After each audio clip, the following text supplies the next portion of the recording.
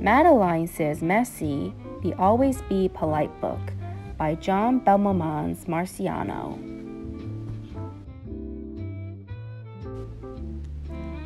In an old house in Paris that was covered with vines lived 12 little girls in two straight lines.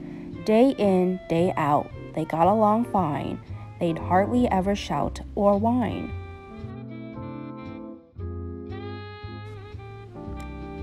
To each other, they were polite, except for the occasional pillow fights. The pages that follow offer advice on how to be polite and nice. As you read, please keep in mind it all comes down to being kind.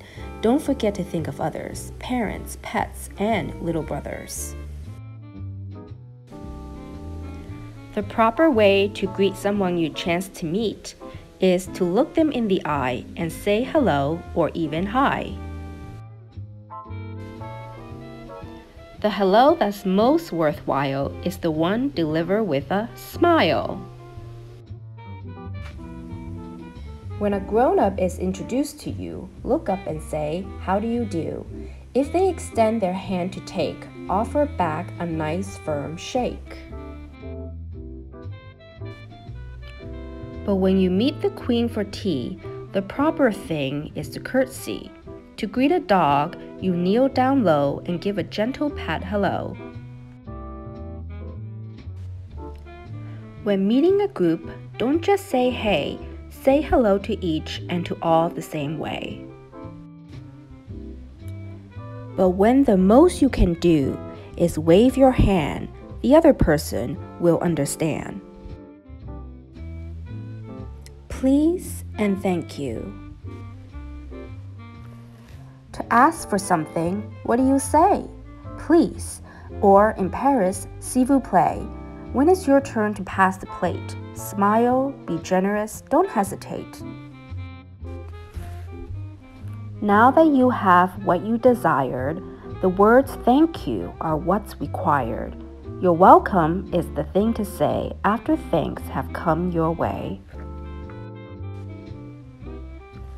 Every gift deserves appreciation, no matter what the situation. If it's something you asked for, a happy surprise from the store, unwanted gifts you find a bore, what you had seven of before.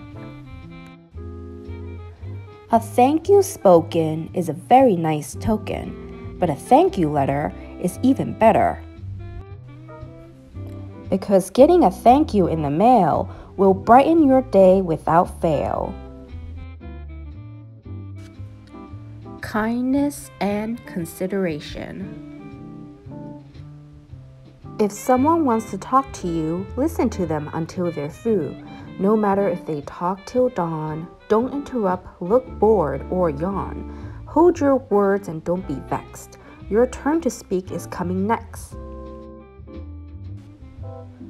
Interrupt only if you see a prisoner running free, a porcupine who wants to play, a solar eclipse, look away, a bucking, snorting, runaway horse, or a house on fire, of course. Don't be selfish and given to greed. Here, I have more than I need. It can be lots of fun to share and taking turns is always fair. Don't punch and shove when you play. Only a bad hat acts that way. Nobody likes a boastful bore who brags, My dad's a rich ambassador. And to whisper, point, and stare shows you're rude beyond compare. An animal is a friend, not a toy. This sort of thing she does not enjoy. Sometimes she wants to be left alone, to sleep or chew her favorite bone. If you let her have her way, she'll come to you when she wants to play. No one minds a little help. Start by cleaning up after yourself. Do the dishes, sweep the floor, take out the garbage, hold the door. sorry. Accidents happen without intent or warning. Madeline spilled her juice this morning. Excuse me, please, I beg your pardon. And after that, it was forgotten. If you do something you know is wrong, such as going where you don't belong, don't make it worse by telling lies. Say you're sorry and apologize. Teasing someone isn't cool. It's never funny, often cruel. To remedy this ugly business, try and beg for some forgiveness. If you do what you shouldn't dare and give your teacher quite a scare, apologize to her and then never do that thing again. Excuse me, sorry, pardon me does not mean that you are free to push or shove obnoxiously. Being sorry's most important part is that it comes straight from the heart.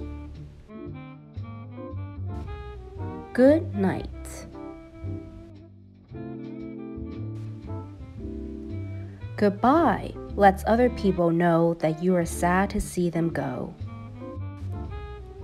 Now it is time to go to bed. There is nothing more that needs be said except the words sleep well, good night, which let you know that all is right. So, Miss Clavel, please turn out the light on this book of how to be polite.